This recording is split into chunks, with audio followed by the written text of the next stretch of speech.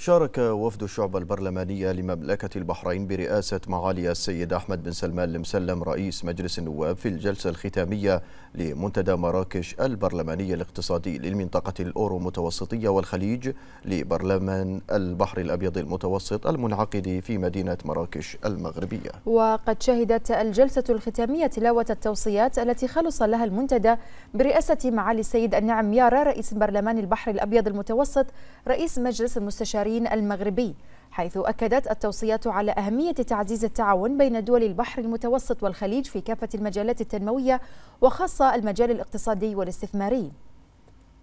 كما شهد المنتدى في يومه الثاني عقد جلسات حوارية عدة من بينها جلسة بعنوان ريادة الأعمال في العالم الرقمي وتحدي الذكاء الاصطناعي وأخرى بعنوان حقوق الملكية الفكرية مفتاح الازدهار. هذا وتأتي مشاركة وفد الشعب البرلمانية في منتدى مراكش البرلماني الاقتصادي ومنتدى النساء البرلمانيات لبرلمان البحر الأبيض المتوسط.